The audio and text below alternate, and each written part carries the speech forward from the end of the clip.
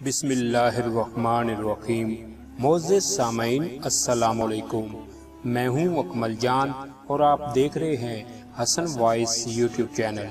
तमाम दोस्तों से गुजारिश है कि हसन वॉइस यूट्यूब चैनल को सब्सक्राइब कीजिए और वीडियो को लाइक और शेयर ज़रूर कीजिए। तो चलिए दोस्तों, आज की वीडियो शुरू करते हैं।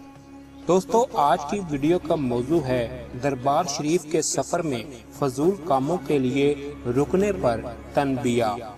खलीफा रब नवाज़ साहब का बयान है, एक दफ़ा भूसे का ट्रक लेकर दरबार शरीफ आ रहा था। रास्ते में बामकाम जंड बुरलेब सड़क, बैलों की दौड़ का तमाशा हो रहा था। मैंने ड्राइवर को बोला, मोहम्मद अलियास, गाड़ी रोको।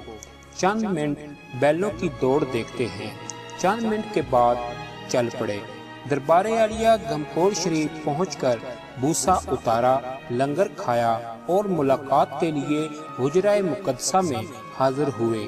अभी पूरे तौर पर बैठा नहीं था कि हजूर किबला आलम अलैह ने फरमाया और कमाल शफकत भरे अंदाज में फरमाया, रब नवाज़, रास्ते में फजूल काम के लिए रुकना अच्छा नहीं होता।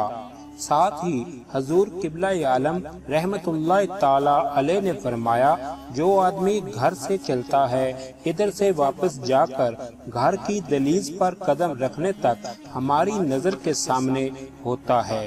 और जो आदमी आते वक्त या जाते वक्त रास्ते में अपनी मर्ज़ी से, अपनी तबीयत से मेहमानी खानी शुरू कर दे या फजूल काम में मसरूफ हो जाए, वो हमारी नज़र से हट जाता है।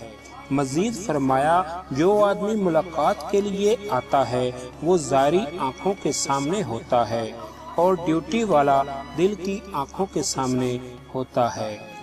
ये थी दोस्तों आज की वीडियो। मैं उम्मीद करता हूँ कि दोस्तों आपको आज की ये वीडियो ज़रूर पसंद आई होगी।